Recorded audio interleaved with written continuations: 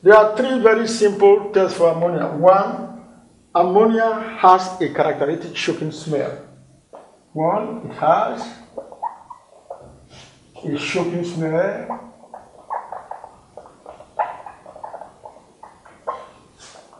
Two, it turns moist red litmus paper blue.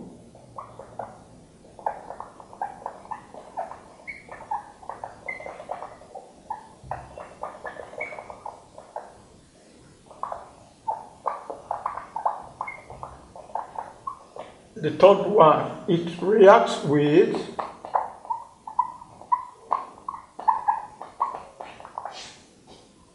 HCl gas to produce dense white fumes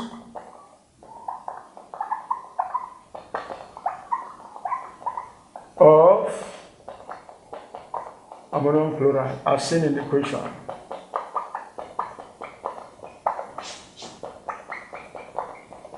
Dense white fumes.